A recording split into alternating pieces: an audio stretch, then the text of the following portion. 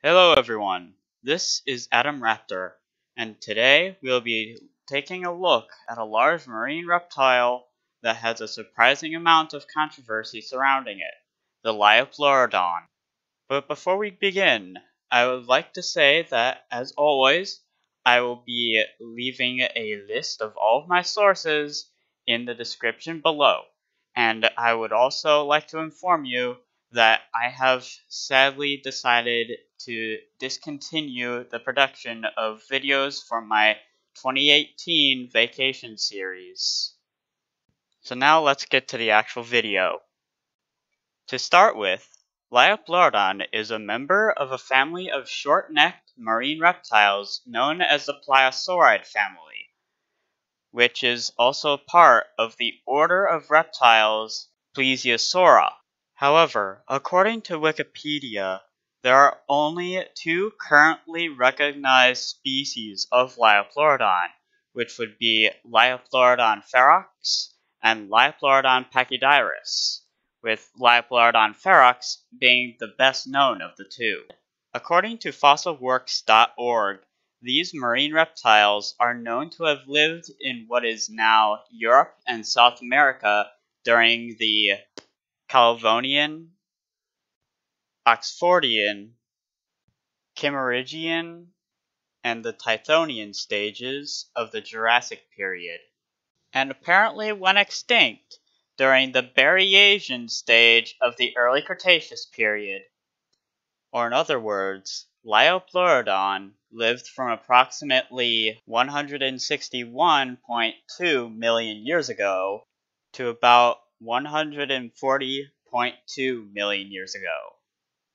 To be more specific, their fossilized remains have been found in France, the United Kingdom, Germany, and Argentina. The last of which is, as far as I'm aware, the only known location that Liopleurodon has been found in rock layers dating back to the Cretaceous period because all of the other locations have been dated back to the Jurassic period. However, unlike modern day, these locations were not covered by dry land during the Jurassic and Cretaceous periods. Instead, due to the Earth's global climate being predominantly warm and tropical during this time in the planet's history, there were no polar ice caps and many coastal lowland areas were flooded by inland seas. As such, Europe was predominantly separated into numerous small islands and would have resembled modern places like the Bahamas. This European sea would have contained large coral reef systems which also would have been teeming with marine life. Life that would have included animals like plesiosaurs such as Kimmerosaurus, pliosaurs like the Pliosaurus, the fish-like reptiles known as ichthyosaurs like the Ophthalmosaurus, marine crocodiles like Metriorhynchus, fish such as the giant filter feeder known as Leedsichthys, sharks like Hybodus, squids, ammonites, and many other forms of marine life while the flying reptiles known as pterosaurs, like Rhamphorhynchus, hunted small fish and other small marine animals from above the waves, and the dinosaurs, like Eustreptospondylus, dominated the land.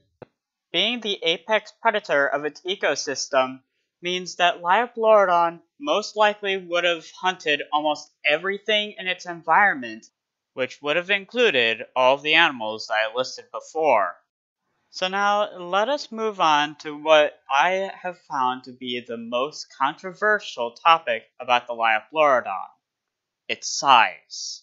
In contrast to the enormous 25 meter long or 82 foot long Liopleurodon proposed in the BBC's Walking with Dinosaurs documentary series, it is now generally agreed upon that Liopleurodon was a marine predator that typically grew from about 5 to about 7 meters long, or from about 16 to about 23 feet long, with the largest individuals growing to a maximum length of about 10 meters long or about 33 feet long, which, to put it in perspective, is around the same length as the modern killer whale. While, according to Wikipedia, the mass of 7 meter long individuals have been estimated to have been around 1.7 metric tons, or about 3,700 pounds. Much like other plesiosaurs and pliosaurs, Liopleurodon had four very large flippers that it used to propel itself through the water.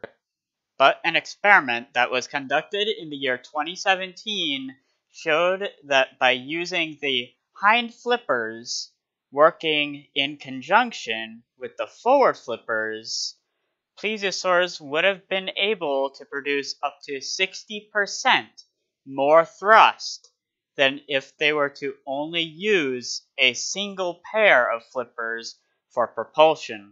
Even though these marine reptiles primarily used their flippers to swim through the water, research that was done in the year 2013 on the caudal or tail vertebra of the plesiosaur Rhomaleosaurus, as well as other plesiosaurs, shows that they likely also possessed a vertical dual-lobed tail fin.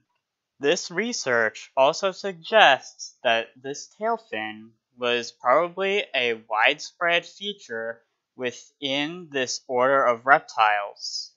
It is also suggested that this tail fin was likely used to aid in the animal's speed, maneuverability, and to help them stabilize their bodies in the water column which means that even pliosaurs like Liopleurodon probably possessed a similar tail fin as well. So this drawing of Liopleurodon, which I drew for this video, might be an accurate representation of what this animal could have looked like while it was alive.